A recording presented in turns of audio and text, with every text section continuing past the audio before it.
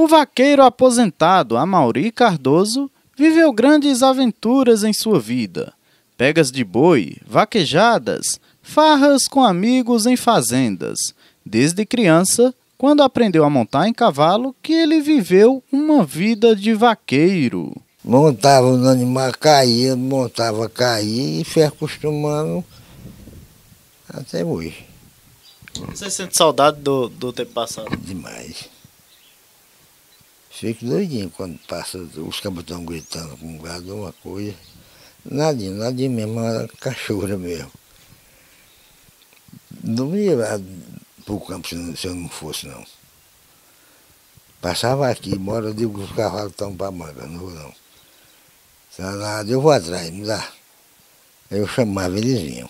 Mas tu tá escondido, eles iam comigo, tu tá escondido, os cavalos aqui, nós ia, passava direto com o gado, quando nós juntasse ou pegasse, de pé para o amigo todo.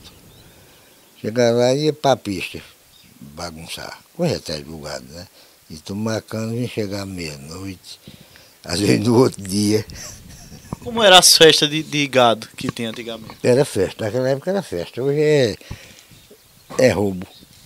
O que só faz para a troco de dinheiro. Naquele tempo não existia dinheiro, não falava em festa, em festa de gado não se falava em dinheiro, não. É, mostra o dinheiro da cachaça e ia brincar. Hoje não vão brincar, vão brigar e, e o dono da festa roubar. Roubar eu digo sobre isso. Você participou de muitas pegas de boi? Muitas. De vaquejada de Santa Cruz por aqui afora. E não era, pronto, e não era de carro não, era de burro puxando o cavalo daqui para Santa Cruz. Tapetim, São Vicente, naquela linha ali, ué. Daqui Monteiro, Sertânia, um buzeiro. Já tirou muitos prêmios em pega de boi, vaquejada? E também muita cana. O que era que você gostava mais, pega de boi ou vaquejada? Pega de boi, pega de boi. Por que a pega de boi? Porque a, cachorra, a cachorrada é mais. Pegar o boi com o braço mesmo, dentro da manga. Isso. Esse negócio de pegar aí, eu seguro não. Rasgando o rosto, levando queda. Queda, corte na cara. Por que falta um bocado de coisa aqui. Foi croque de madeira. Bom, esse é da coisa até esqueci. Tem um que foi três vezes arrancado e o outro duas. Os quebrados. Pé. Mas esse era o divertimento. Isso. E eu não ia para médico, não. Eu, gosto, não, eu gostei de, de hospital, não. Fui vaqueado em, em Santa Cruz. Eu caí, eu puxei o boi e caí. O cavalo puf, pisou em cima, quebrou as costelas. Aí levaram para o hospital. Aí o médico disse, seque, levantou os braços e seque. Eu levantei isso aqui, é mais para ele, passou uma cinta. Aí mandou baixar os braços. Oxe!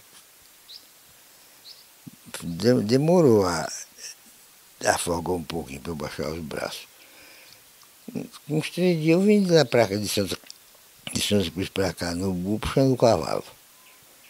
Mas luta era para desmontar e montar. Que não podia levantar a dúvida das costelas, sabe? Não podia fazer, pegar na cela nem levantar o pé para.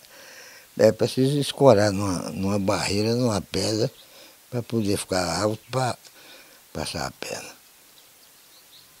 Aí o cabelo disse, não, que não sei o que não, não sofrer ainda. Não é isso? E hoje, como é que você vê assim o tempo, os dias de hoje? Rapaz, é, é saudade, não é? Meus bichos morrendo de fome, que eu mesmo morri de fome aqui. Já é esse ano. Se nossa chuvinha não tinha fechado, era o, o chiqueiro de, de outro. Vê as coisas se acabando e não pode fazer nada. Não pode fazer nada, né? Porra, mas aí ninguém vai. da minha qualidade não vai não, porque um saco de ração é caro demais, né? Para muitos. Um saco de milho para criação, só para 50, 60 de criação, só dá se eu espalhar um saco de uma vez. Mas dá de punhadinho, só faz vigiar as bichinhas e não adianta nada. Só resta as lembranças, né? As recordações. É.